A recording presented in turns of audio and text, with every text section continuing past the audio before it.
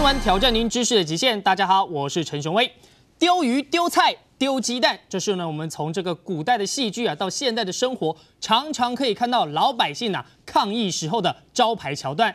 但是如果碰上元首出席的场合，安检非常的严格，啊，你手上没有东西可以丢怎么办？这个时候啊，手上身上穿的啊，手上拿的有什么东西能出去的就出去了。所以呢，今天呢，就让我们来探讨的话题呢，还蛮有趣的。除了要看呢要怎么丢得准之外，还要看看这一些政治人物啊，平常呢反应身手都要像运动员一样的灵敏才行哦。先来欢迎我们的四位跟我们一起参加讨论的来宾。首先介绍是历史学者周健老师，熊伟好，各位观众好，还有资深的媒体人胡兆成大哥，大家好，还有军事评论员陈国民。主持人好，各位观众大家好，还有政治学的博士杨连福。主持人各位大家好。好，那当然这一切的话题啊，今天会这么有趣啊，就是因为呢，我们的马总统啊，在这个公开的场合的时候，被人家丢东西了。详细的过程呢，先看这段新闻开始。相同的是，这段世界人权日上，台下呛香的民众对着台上的马总统先丢鞋子，再丢资料。最后丢包包，全部都被随扈滴水不漏的挡下。国家元首被丢鞋抗议，在国际上早就不是第一次。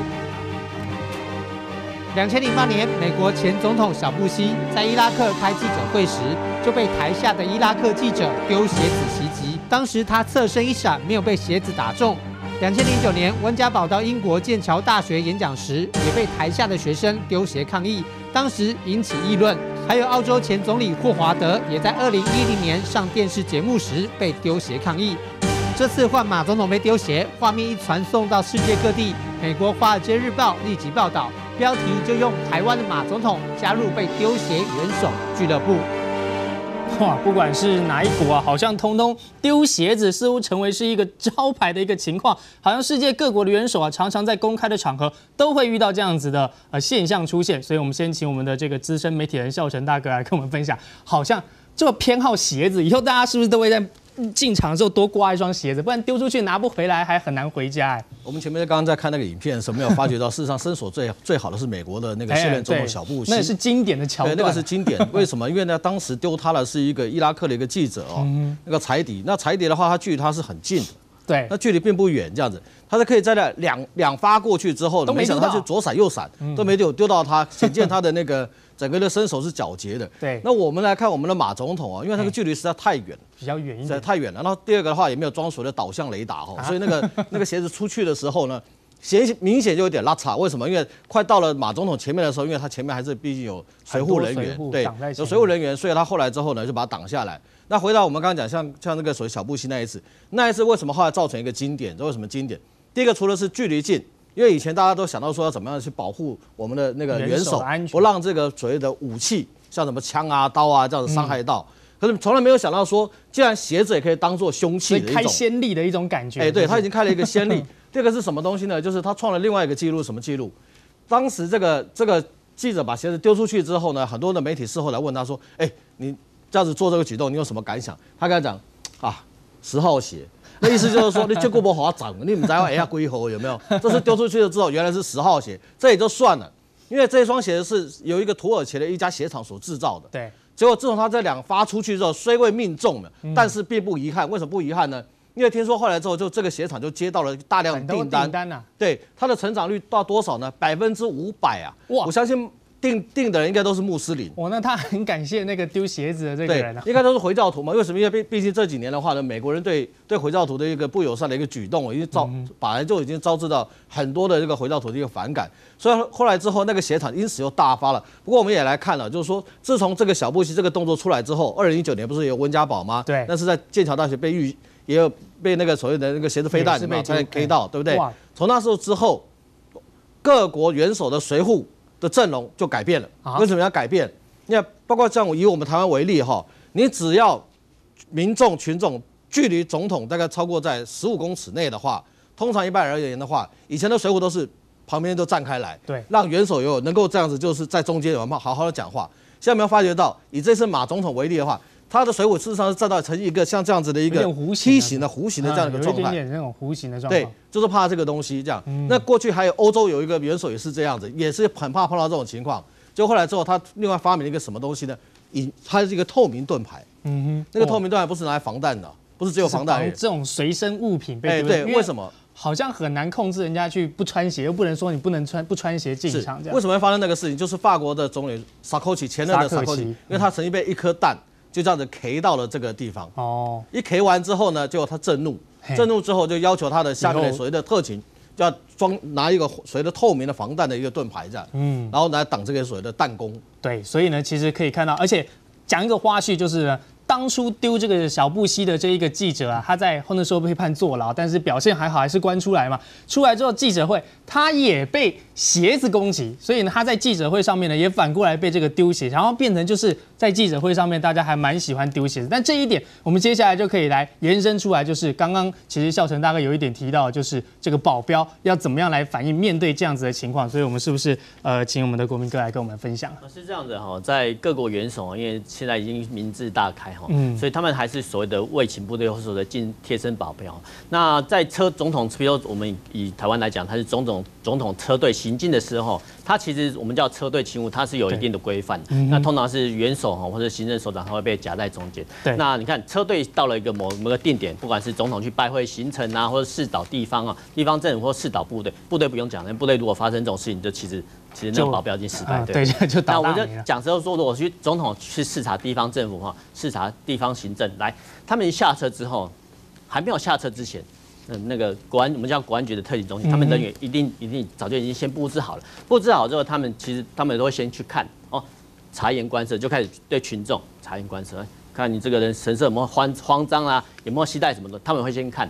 那看完之后呢，总统他们有个代号哦，假设叫一个万哦，一个万已经进来，他们。他们叫耳麦，收到讯息，对对对，就是像你的后面那样，他们都会有一一小组。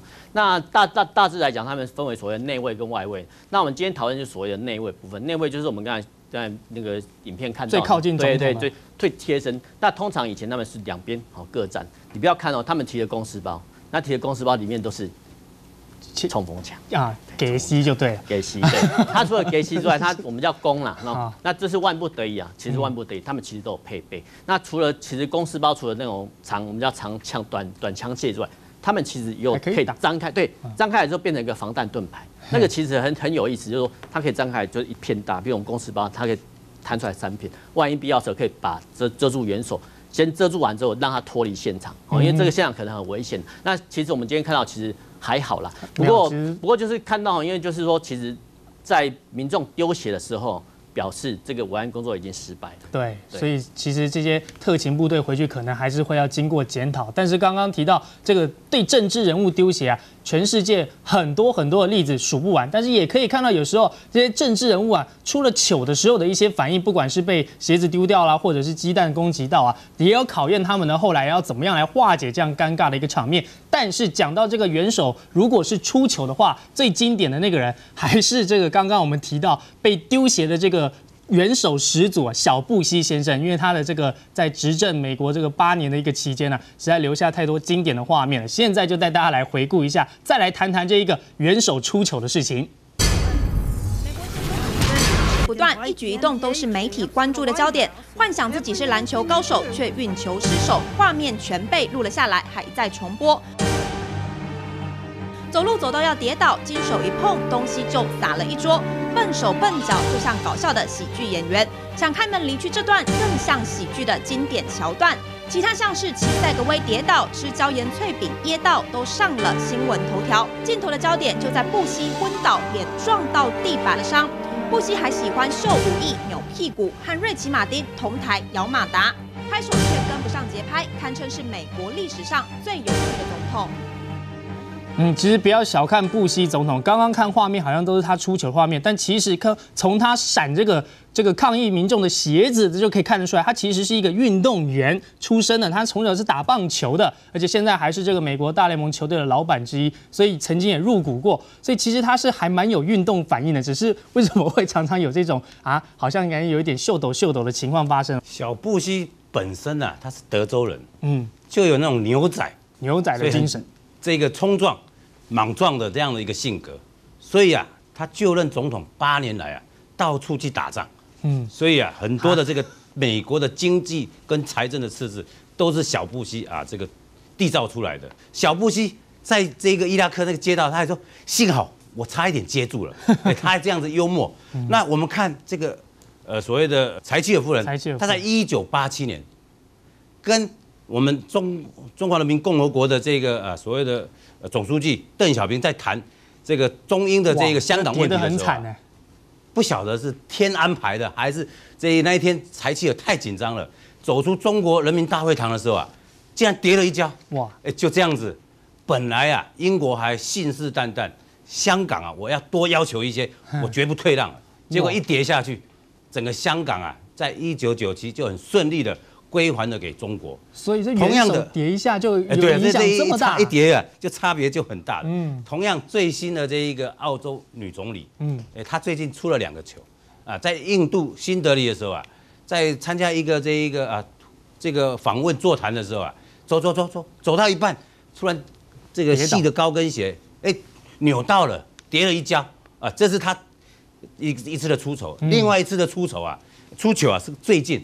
他上电视媒体报道了是吧？他还呼应了这个二零一二年十二月二十一号，真的有玛雅的预言，好像他说是真的，而且飞碟外星人真的会降临。后来被这个炮轰了，他改改口啊，说这件事情我只是一时讲出来，他是要擦枪走火的，他想幽默的想要尴尴尬把它化解掉这样。所以我说马英九总统，如果你是把台湾两千三百万老百姓当做是你的子民。你要用宽容、包容的心，把一些过错自己承担下来。嗯，这些民众的抗议，在民主正义政治的社会里面是很正常，是一个常态。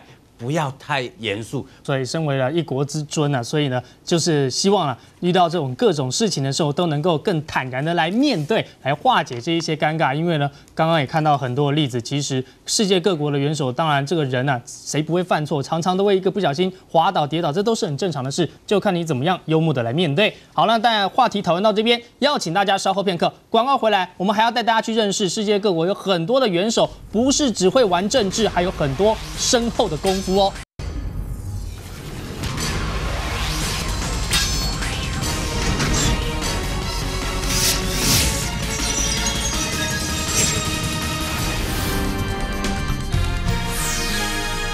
国之尊呢，到底应该是什么样的形象呢？除了勤政爱民，这是我们大家一般啊普世的一个概念，还要很会、很有能力可以处理一个国政。但是如果他本身还怀有武艺的话，会不会又是替他当总统的形象加分吗？讲的这个人呢，就是俄罗斯的总统普丁啊。那普丁呢，从这个也算是在民主国家蛮少见的，他的任期满了，然后换别人代理，但是回来继续来选总统，还是选上了，现在又继续担任俄罗斯的总统了。而且呢，他很厉害的功夫不是这个咏春拳，是柔道。我们先来看这段画面。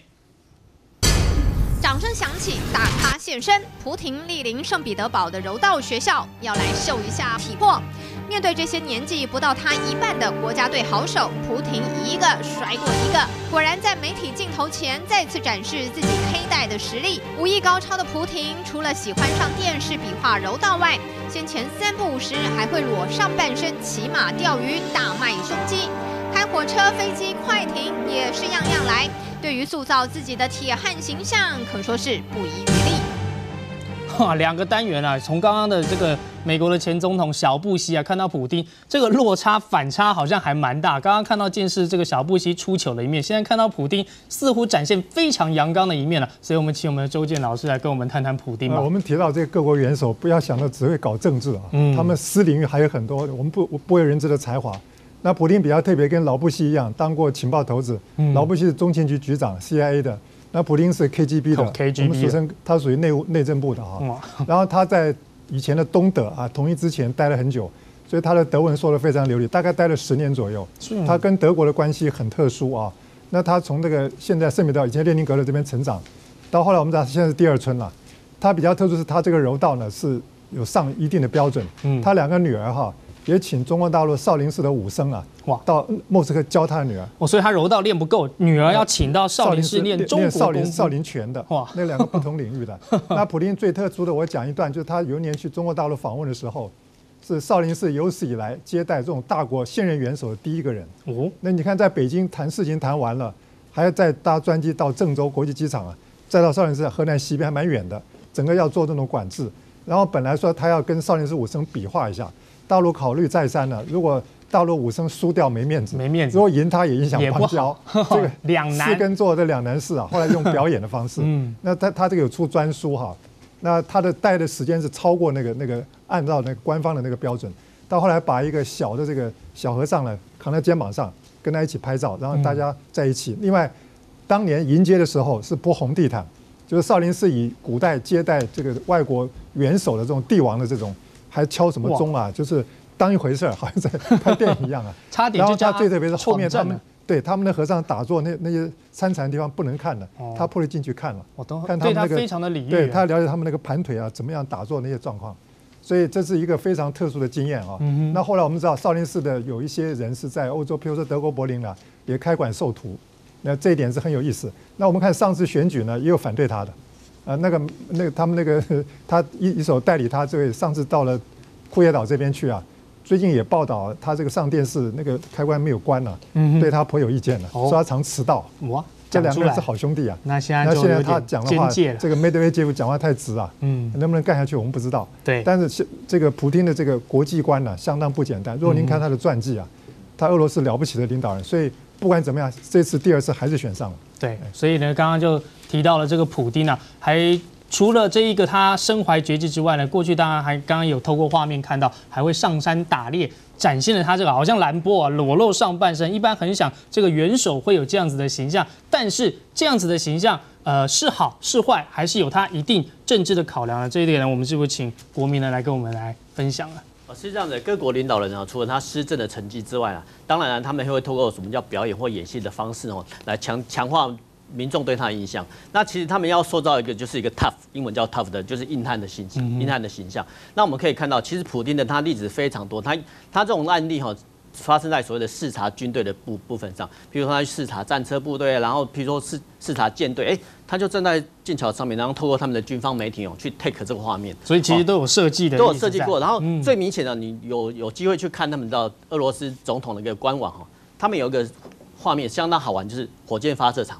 火箭升空一般来讲，它旁边都有那种烟雾嘛，对不嘿对？一般来讲就是要回避，要哦回避。可是对嗯，那时候它是火箭发射，然后普丁走在前面，当然画面很小，它有有设计过的画面，然后民众就看到这种画面，哦，原来你去你去关心我们的太空事务，不只是三军军队哦，你去关心我们的太空事务，那就给民众一个印象说，哦，原来你是关心我们的国防哦，我们的太空产业或是经济产业，这个我们叫简直叫简称叫威望政策。那威望政策它是一个无形的，它它其实有点像古代啦，我们古代的官员，中国官员就是大官出巡，有没有哦？生人回避，或者像皇帝微服出巡这，样，它其实有这种味道，对对对它其实有这种味道。那这种味道呢，通常来讲，对政治上，不管是他施政或是经济上的延续哦，会有它一个加分的效果存在了。嗯那当然了，当然，如果说，当然如果说透过军队啊，他去视察部队，那很抱歉，如果说部队没有没有检检阅好或者装备不安全，但但会有扣分的效果。不过一般来讲是不会的，因为像呃马英九总统他去视察我们国军部队的时候，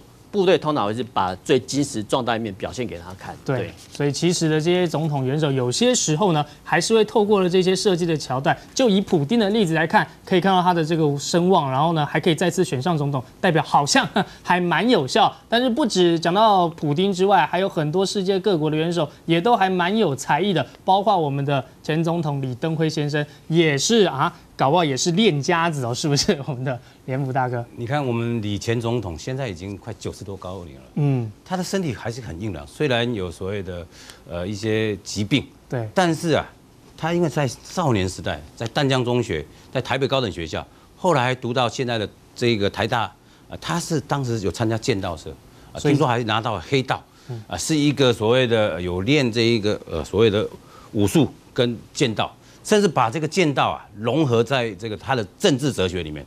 他当时在一九九零年代对付这一个非主流的时候，以及跟中国大陆的所谓的啊导弹危机的时候啊，他就是啊展现了他很强而有力的那种剑道哲学，啊，先蹲下来，先忍一口气，啊，然后再这一个啊找到目标，这用力飞啊，就给敌人啊痛击。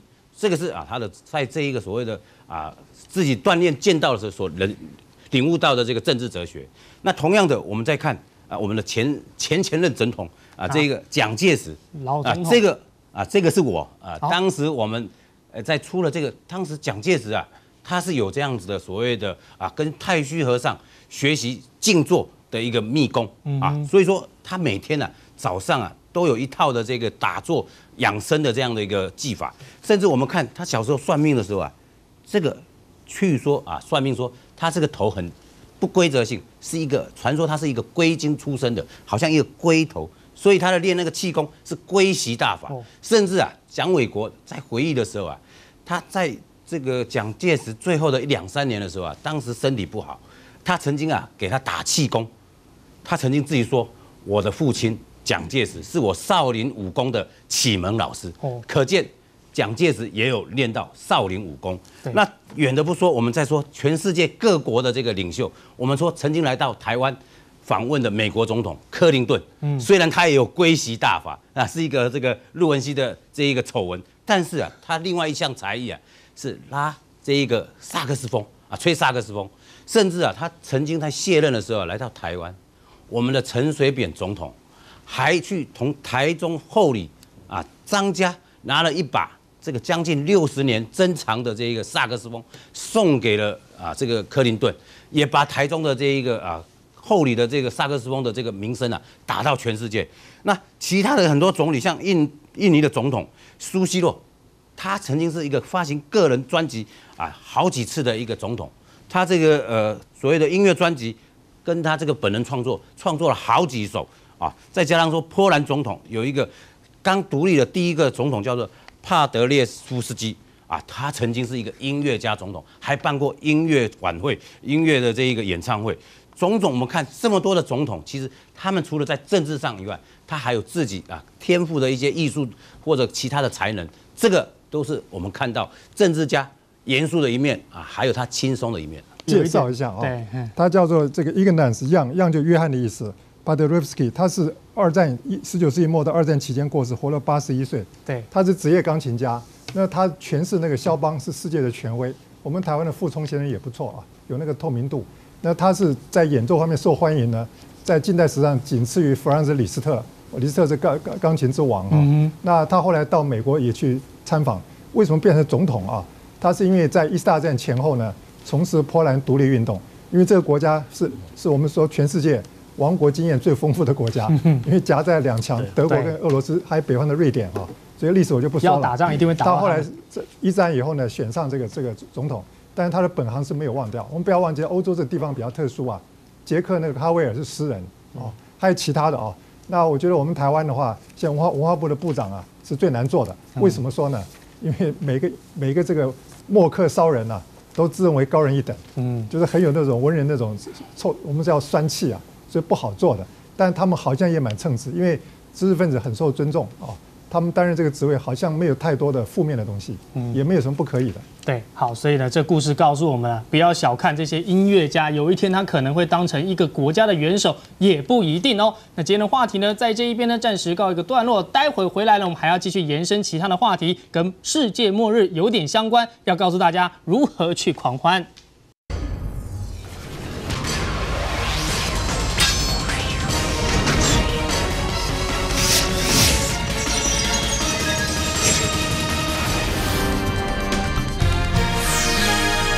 挑战新闻，挑战您知识的极限。大家好，我是陈雄威。末日来了怎么办？是努力的求生存，不放弃任何一丝丝生存的机会，还是想着轻松一点，反正全世界大家一起完蛋，say goodbye？那不如呢，好好的活在当下，珍惜现在的每一刻。那这是在玛雅文化预言的世界末日呢，就在这个月。那所以呢，在这段时间，相关的话题会越来越多。那人世界上各地各个人呢，想要逃的，想要上天下海，哦，想要呢搞哭手的。只会越来越多。好，讲到了这个末日求生存的这个面面观呐，那当然呢，这个不管是现在呢，大家是要抢抢这个求生的工具，学求生的技能，还是呢要看看这个能够上天或者是下海去躲去躲都有。但是上天有可能吗？往天上飞，可能地下不管怎么灭怎么炸都有机会生存，是这样吗？夏伟，的确啊，为什么美国这个时候有一个末日飞机这个新闻出来了？对，那个末日飞机啊，这个东西啊，大家一开始想到末日飞机，哇，要逃避世界末日的，其实。它的设计的用途跟逃避世界末日还真的哎，还真的有点关系。为什么？你知道这个东西，我们要看看它，它为什么会有这样的飞机？很多观众朋友一看，哎，这不是波音七十七，是美国的空军一号吗？他们想说这一定美国总统在用的嘛？哎，对，也的确是给美国总统在用的，但是它跟空军一号的功能有点不一样。空军一号那是美国政府啊，特别是陈平时期，总统搭着空军一号出国访问，所以他飞机喷得漂漂亮亮的，然后要出外宣扬国威的。但这架叫做 E4 这个那个总统专用的这个飞机，它你看，哎，就是一个白色的飞机，而且上面还有很多窗子是封住的。大家觉得奇怪，这个飞机是干什么的？其实这个飞机的历史啊，它比空军一号的时间还要久。为什么？为什么这个飞机它最主要当初做出来的时候是要当做美国的核战空中指挥部？哇，想这么深远啊！哎，核战是为什么？就是相互保证毁灭嘛。当时美国跟苏联为什么两大集团可以相安无事呢？就是因为我今天你要打我，我就可以把你打回洪荒时代。你打我，我也把你打回洪荒时代。所以这个等于概念，在冷战都已经距离现在二三十年前之前就有这样子末日对，因为如果说啊，相互保证毁灭的时候，就因为我们有共同的恐惧，所以我们有共同恐惧，所以我也不敢打你，你也不敢打我。但是为了预防这一天，美国人还是做了准备。这个末日飞机是什么？美国空军呢就要为这个飞机。要干嘛呢？他就是要指挥。当如果核战爆发的时候，美国总统就要跟他侍从，侍从会提这个皮箱，我们叫做足球。那个足球上面就有这个生物啊辨识系统，辨识今天你是不是真的美国总统。比如说看那个眼角膜啦，然后另外通过以后要开始进行核弹密码的这个认证。经过一系列的认证，确定好总统要发射这个飞弹，那时候就要通知全世界的美军啊。残存的美军啊，告诉他说如何开始进行发射飞弹。所以你看，他这个飞机上面就有超高频的卫星通讯天线，干嘛嘞？只有这个。因为我们知道，虽然即便核战爆发了，卫星在太空中它还是能够存存活，因为你要去打卫星下来，这个很难。那个卫星啊，它可以把这个讯息通知到全世界还活着的美军。所以其实相关的电影类似，其实也都有演这些。对你看过那个《赤色风暴》那部电影嘛？对不对？为了讲核弹，对对对对对，真实存在。对，所以你可以看到这个飞机它整个设计啊，完全就是为了核战指挥做准备的。它有通讯，然后另外它有那个呃，它这个地方的会议室啊，是让美国的总统、统国家安全顾问。国防部长，然后这些重要的人物在上面进行开会，打不打？怎么打？对，然后打了以后下令，借由这个通讯中心，你可以看到它上面有海军、有空军的人员驻扎在上面，如何跟他们的这个呃配备核武的这个部队啊进行联系。然后呢，另外因为这个飞机啊，它只有能够搭一百多个人，这些都是指挥这个呃层级的，甚至于上面还可以借由这个上面的这个通讯系统，跟俄罗斯啊前苏联的这个呃国家那个俄共总书记进行热线联系，干嘛？哎，你是不是真的要打我？你是不是真的要打我？是真的还是假的？对，等等之类的，要做一个最后的辩证嘛。如果大家玩真的，那我就打吧。另外，你可以看到后面最特别这边还有一个八公里长的这个脱衣天线。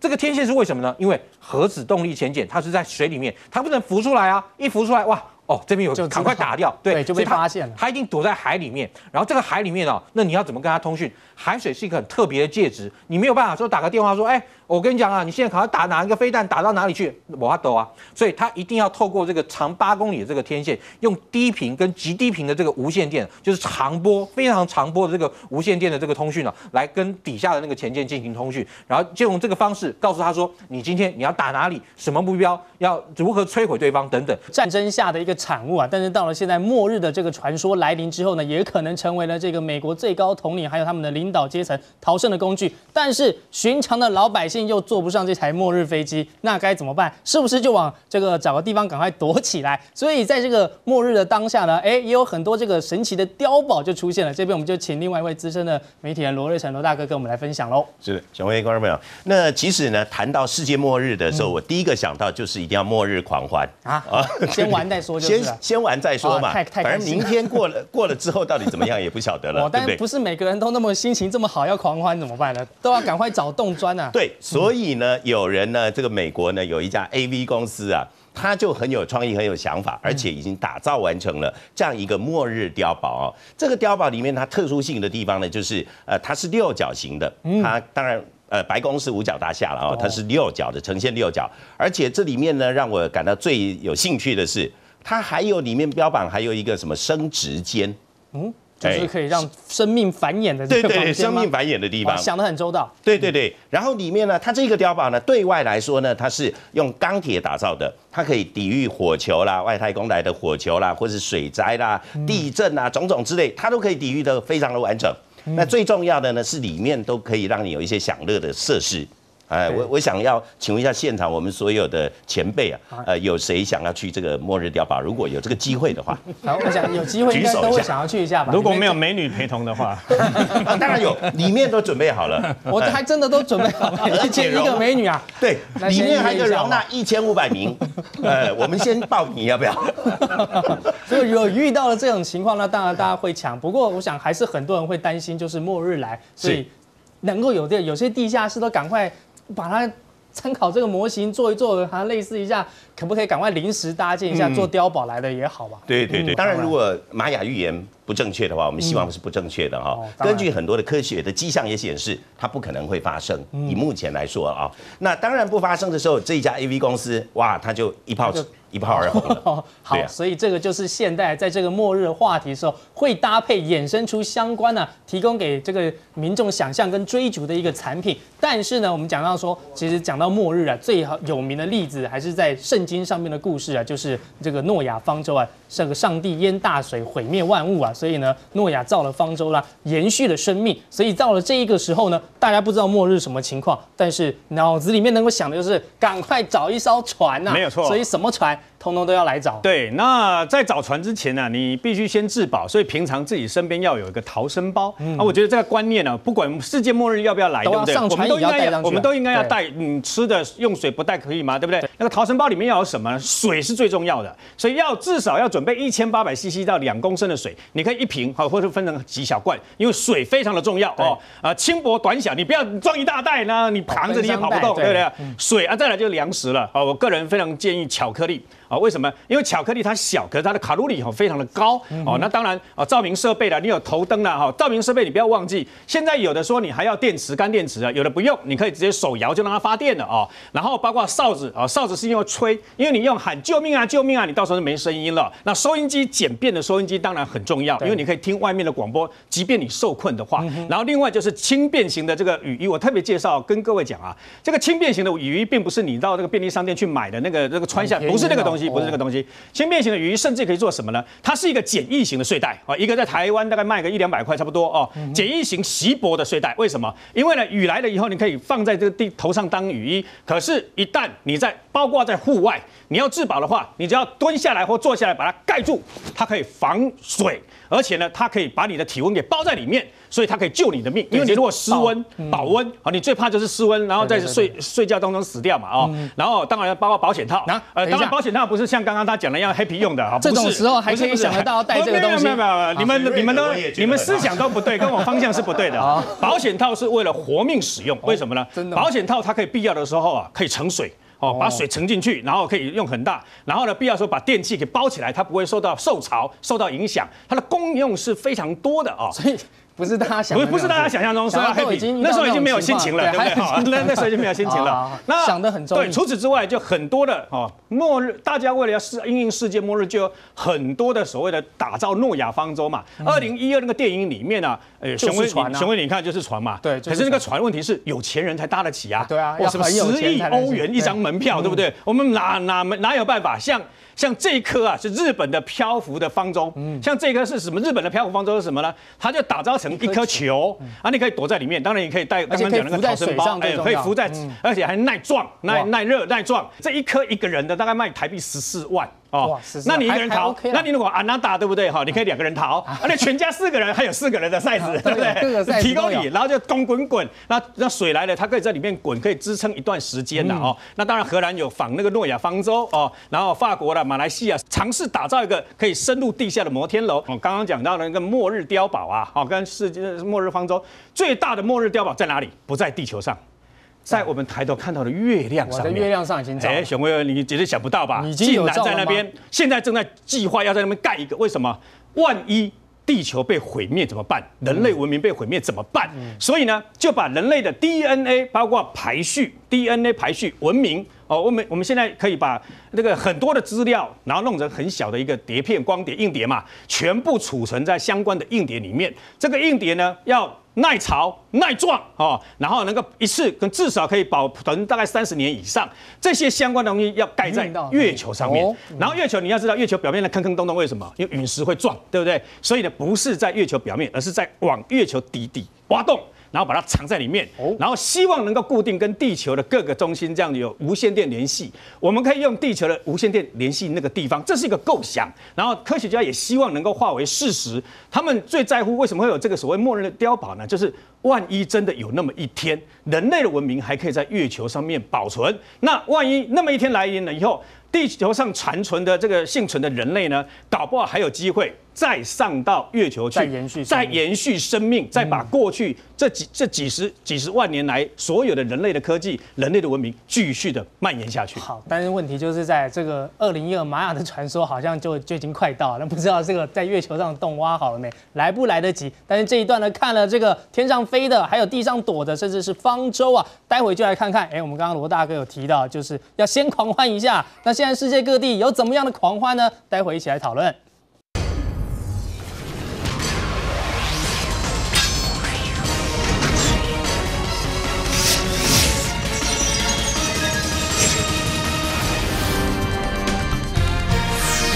末日求生的方式啊，千奇百怪，有刚刚符合现实的，比较接近的，我们现在生真实生活的，当然也要来看看比较科幻，还在理论呢，到底有没有可能实现的？就是呢，做时光机之类啦，跑到虫洞里面去，博士。科幻，熊威，你看过《哆啦 A 梦》的影集吗？嗯，哆啦 A 梦有啊，我小时候有时光小叮当嘛，有有有时光机在抽屉里。你觉得是科幻吗？我觉得是科幻啊，但是还蛮羡慕的。科学的哦，真的吗？我这一本有科学的理论，教你怎么做时光机器。哦，我买的啊，可是都是你盖好了。没有，我看了以后 啊，我也做也做不出来，太深了哦。因为这是要透过虫洞哦，这个地方叫虫洞。嗯，虫洞理论是一九一六年科学家提出来，然后经过一九三六年爱因斯坦认为说，哎，时光机器是绝对可能的。然后再来近代有爱因斯坦第二的伟大科学家霍金，他觉得说时光旅行是绝对可能的。嗯，它是一种四度空间的观念。对，什么叫四度空间？我们这次开车走直线叫做一度空间。对不对啊？你这左转右转，二度空间是平面嘛？嗯，你这往阳明山上走，再下山，三三度三度空间，你没有办法进入四度空间，对不对？要进入四度空间，就是要透过虫洞。哦，那霍金讲说，虫洞无所不在，宇宙间的任何物体不是这种连续性，也不是没有缝隙的，通通都有小缝隙或者是小皱纹，这就是虫洞。嗯，所以你你要根据这个书，先找一个虫洞或制造一个虫洞。看到第一页就找不到，怎么办？对呀，你用一个圆筒状，诶，可以可以可以制造，里面讲说可以制造，可以制造。好啊，你你要让它稳定啊，然后把它拉到拉到人可以钻进去，或是或是你的太空船可以钻进去的地方，然后就进入第四空间。对，刚才讲不是上山是三度空间，进入四度空间。那霍金认为说，时间的流动好像是河流一样，有快有慢嘛，啊，所以怎么样才能够进入虫洞？你速度要非常快，所以你假设能够制造一个太空船，速度很快哦，快到快接近光速，不可能超光速嘛？对，那科学的理论。现在的速度最快就是光。那快要接近光速的时候，时间会变慢，就好像河流流的比较比较慢的地方，流速比较慢的地方，时间会变慢。你在里面一天的时间，可能外面就是一百年，你就。进入未来，OK，那不是就是时光旅行吗？好，可是熊威告诉你，现在办不到，现在办不到。对，但是有一天办得到。所以世界对于假设有世界末日来讲。这是一个希望，未来的希望而已，科幻的一个希望，但是可能会可能会实现科幻的希望嘛，所以希望的这个末日晚一点来好，再晚个几百万年再来啊，这也不错哈。但是呢，讲完了这个科幻的一个理论呢，我们再跟着去看到现在真的的世界上呢，就有很多人比较恐慌，末日真的要来了，所以就开始找地方躲了，所以就有这个，这是在法国的这种末日小镇啊，还有这个大家躲在一个山里面是什么样情形？先看这段报道。这里是位于法国西南部一个名叫比加哈什的小村庄。根据末日信徒的说法，玛雅历法预言十二月二十一号是世界末日，而比加哈什附近这座神秘山峰是飞碟的起降场，而且山底下还住着外星人。等末日那天，当地球和其他星球相撞而毁灭之时，飞碟会在山顶上将他们接走。送到另一个安全的次元。虽然居民多半当笑话听听，但麻烦的是，现在已经有一堆赤身裸体的嬉皮聚集在山区，把附近搞得乱七八糟。而随着所谓末日逼近，还会有更多的信徒涌入。当地旅馆业者表示，近来接到了一大堆订房电话，不管是真的想来抢搭飞碟的，还是来看热闹的，到时可能会有多达几千人甚至万人涌入。当地官员已经请求百名警，从十二月十九号到二十三日这段期间支援封村，等这阵末日风扫过后。再回归宁静日子，哇，真的是天下事无奇不有，所以呢，还有一个学说就是相信外星人会在那个时候，可能地球毁灭那天，再用飞碟啊把我们给救走，有没有这个可能？现在在法国真的就有这种情况，而且呢，也有看到新闻报道，这个法国政府因为人太多了，还要把那个地方先暂时给封住，所以这边我们请我们另外一位资深媒体人于远线的于大哥来跟我们来谈谈啊。刚刚在影片上看到的是说，这叫比加拉池哈，其实它有很多翻译的名称啦，一般呃也有人翻成叫做布加拉什哈。那这个地区的人口不到两百户，不到两百两百户，它其实也不能称为小镇，这样来看应该就是一个小村庄。小村庄对小村庄，很小。这个小村庄哈，跟大家连接在一起的什么来，就是《地心探险记》这本书啊，因为这是十九世纪。末十二十二十世纪初的一个法国小说家写的一个作品，那里面他认为说，这个通往地下世界的一个入口啊，就在这个地方，就在这个地方附近。所以大家很多人都相信，所以他曾经跟他是有连结过的。那另外，他的那座山非常奇特，我们刚刚看到那座不是有个小山峰吗？这个山峰啊，它是所谓的颠倒峰。啊，颠倒山，因为一般地质形成的话，应该是说你越往下的土地，应该是年份越越久越久。哎哎，结果它偏偏颠倒过来，它最上层那个是年份最久的，最下层的那个是年份比较早的。有可能什么原因吗？不知道。所以这个叫做上上比较重，下轻，上重下轻的这个结构，这个结构是很特殊的。啊，所以大家就认为说，怎么会有这样的一个结构体存在？所以包括像德国的纳粹，他们在二战期间呢，就来这边做很多的开发钻研，想要找出其中的秘密。美国的科学家也来，以色列的科学家也来，哎，全部的科学家来到这里，到底要做什么？哎，他们怀疑啊，这就是江博士的专业了啊，就是他们怀疑说，因为有一个理论叫做地球空心论，然后这个写《地心历历险记》的这个人哦。他其实是地球空心论的一个算是先驱的一个角色。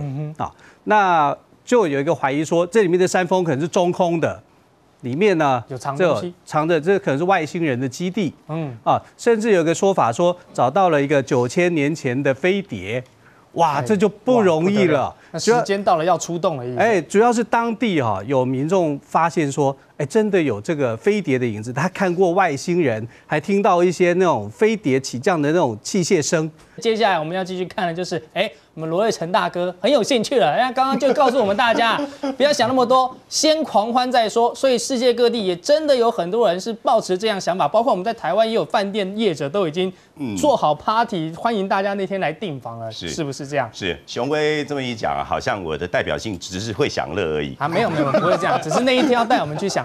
对对对，好，没问题，咱们就大大家大伙儿一块去好了。那其实呢，根据啊这个马预言呢，是十二月二十一号这样的一个消息出来以后呢，事实上我们现在我我从这个白板上写字写的不好看哦，但是我们可以看到啊，这个有一个商城啦，就做了针对几千人做一个调查，结果发现呢，呃，及时行乐型的人大概占了三十九个 percent，哦，然后希望呢玩到死。到那一天死了就好了，玩到玩到末日发生，就像那个电影里面写一路玩到挂的那那样，好玩到死的，有二四个 percent。事实上，我我把它做一个区隔啊，区区隔出来以后，三十呃三十九加二十四，六十三个人，呃六十三的 percent 呢是一个悲观的人。哦，所以这样是悲观的意思。当然啦，因为他认为世界没有望了嘛，所以我赶快。可是玩的很开心啊，一点都不悲观啊。我认为他悲观嘞，因为为什么？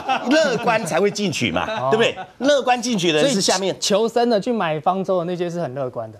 是这样吗？没错没错，当然也要有钱啦，要把方舟。刚刚那个 呃阿德讲说，那一个要十几万吧，哈，十亿欧元啊！哇，那逃生的是十四万台币，呃，比较便宜，所以都是要花钱的啦。那一个人而已，对，所以反而是超过六成是这样子认为。对对对对，所以呢，反而反倒是百分之十九的人呢，他是保守派的啊，他希望求一个生存的机会，比如跑到山上啦，或躲在山顶啦。刚刚远轩提的那个山的山顶头，搞不好未来就有人在二十一号的时候，很多人爬到那个山顶上了，也有可能。对，然后呢，还有一些是祈祷啦，拜火就拜火造波比啦，呃，还是还是什么任何的宗教的。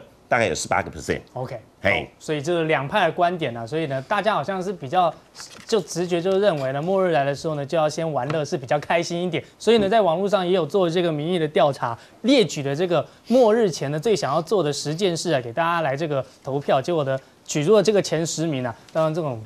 太传统了，什么向心爱的人告白，跟家人在一起直到最后一秒，这是很普世的一个观念。当然，到处去旅行啊，吃遍美食啊，就类似刚刚罗大哥讲的，就是玩到挂的意思。然后呢，这个很好啊，二十一号那天呢，全公司搞不好不用上班了，因为老板都躲起来。因为如果真的来的话，那老板会很惨了，一定会被打成猪头啊。所以这个是老板可能是比较担心。但这个要小心，就是万一世界末日没来的话，没有来第二天，第二天员工就很惨了。世界末日了，员工的末日，员工就很惨了。所以这个又是可以大家来观察他的一个地方。然后还有像骑老虎，就把自己当少年拍，也不能电影红。现在就在讨论要去骑老虎，你还要去动物园找得到那只老虎，那老虎也很惨。然后还有先睡觉，还有逃到外星球去避难，还有上数学课，我还比较想上历史课，还有多烧一点纸钱给自己。当然这个是比较博君一笑，因为是在这个网络上大家真的做，因为认为假假如玛雅的传说真的来了的话，你也没有什么好避，就是。做这些事情，因为你也没有钱去买那么多方舟啊，或者是。末日飞机去搭乘。但是。最后啦。想问一下各位来宾呢，那如果真的末日前，这个不知道我们在这十件事里面最想要做，有没有什么最想要做的事？对，是。福不是。祸，是。祸躲不过。我跟我太太这个谈恋爱二十七年来啊，然后呢，另外就是。孩子。大儿子怀孕的在十八年前，我每天都替太太捏脚跟那个按摩。这个 多。所以如果真的世界末日来了，如果真的世界末日来了，没有办法了，你要里面有个选项，跟心爱的人在一起嘛。所以呢，我们一样躺在床上，我一样帮他捏脚，帮他按摩，就好像二零一二的电影一样，那抱在一起。看着海巨大的海啸把我们淹没，非常感人。那江博士，你是不是要去法国那个小镇？已经约好了，是不是？如果还有商业行为的话，就把所有钱把它花光，把它花光。如果没有世界末日的话，我只有一条路，到台北火车站加入游民的行列。哦，这么感人，这么自暴自弃。那于远现呢？远线大哥，我可能想去上上数学课，上上数学课。哎，对，因为数学不太好。哦，只会文科的东西，练练脑这也是一个概念。那小伟哥，我准备给他喝到那种一醉解千愁，对不对？一定要找罗大哥，因为应该是一起一醉解千愁，太棒了。睡着之后，对不对？哎，度过二十一号、二十号醒来，哎，没事就赚到，哎，有事也不知道。那这样罗大哥也不用问了，因为你刚刚已经讲得很清楚。我又不一样的观点，你又不一样。我的观点是认为，你带别人狂欢，自己做别的事。对，那一天我会告诉大家，碰到的人朋友都说，哎，世界末日到了，你干脆你把钱你也也用不到给我，但是你不会。先被打成猪头，不会给我，结果明天世界末日了，我最多钱。好，有道理哦，这个还蛮有创意的哦。好了，今天的这个话题呢，讨论到这边，感谢呢所有来宾呢跟我们一起参与讨论，希望末日这天永远都不要来。那以上就是今天的挑战新闻，未来还有更多的话题，我们下次再会。